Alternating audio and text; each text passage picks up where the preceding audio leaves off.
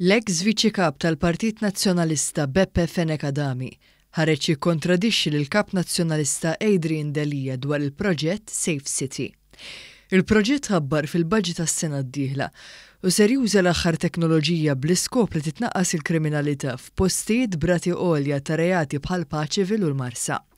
Iżda b'kuntrast ma' dak li ddikjara Adrian Delia li laqa' dan il-proġett, fil-Parlament id-Deputat Nazzjonalista Beppe Fenech Adami qal li dan mhu xejr għajr eżerċizzju ta' spjunar fuq in-nies.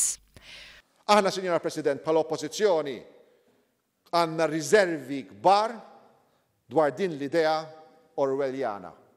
Dwar din l-idea tal-Big Brother is watching. Anke l-ftehim settorali mal-Pulizija safa fil-kritika ta' Beppe Fenech Adami.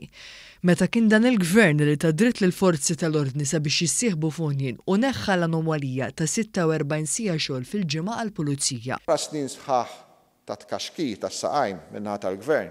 Fenech Adami qal dan minkejja li l-ftehim settorjali kien imwiegħed fil-programm elettorali u jinkludi l-ewwel titjib fil-pagi u kundizzjonijiet tax-xogħol f'għexieren ta' snin.